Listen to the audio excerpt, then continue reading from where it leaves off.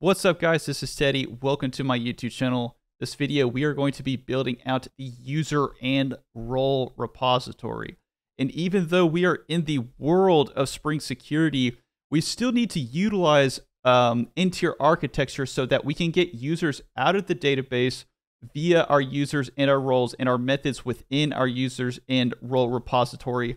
And we are just going to have a very simple method that is going to return users from our user model from the database by username so that we can put them inside of our user detail service. So even though we are in the world of Spring Security, we are still using n-tier architecture and we are going to once again build out our user and our role repository and they're not going to be hardly any different from any other repository that we've built beforehand. So let's just go ahead in here and what I'm going to do first is I'm going to create the user repository.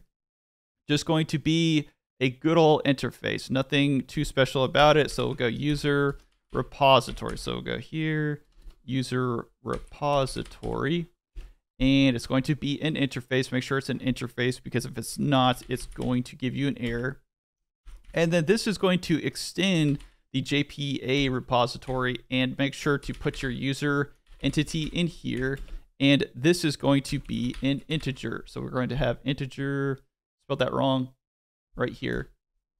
And we're going to have our user entity. What we're going to have is we're going to have a query method where we are going to find users by username and we are going to have a boolean to check if the user exists. So we're going to have optional and within this we are going to have our user entity. So just like this and we are going to, and I spelled optional wrong. So optional, and then we're going to have a custom query method called find by username. And if you don't know anything about query methods, I've got a video on it.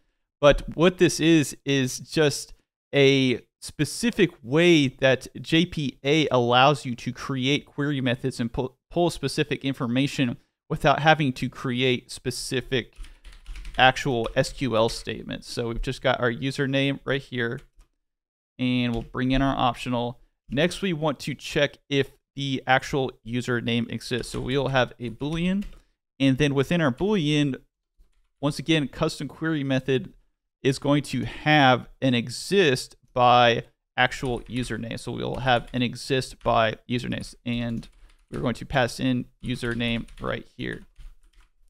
So that is pretty much it. The next one is going to be way simpler, and that is going to be the role repository. So role repository, not going to be uh, very difficult at all. And we're just going to call it a role repository, just like our uh, previous, um, just like our previous example.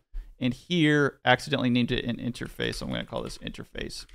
Okay, so, and this is going to extends JPA repository. And this repository is going to have a role with a integer. Not too complicated. Next, we are going to create our first query method within our within our role repository. And this is going to have an optional, it will have a role, and we will find by name. So it's find by name, and then we are going to pass in a string. And now we have both of our repositories set up. We can move on to creating our first custom user details service. Anyways, that's going to be the video for today. I hope that you guys enjoyed this. If you did, make sure to hit that like button. Make sure to hit that subscribe button. And as always, thank you for watching.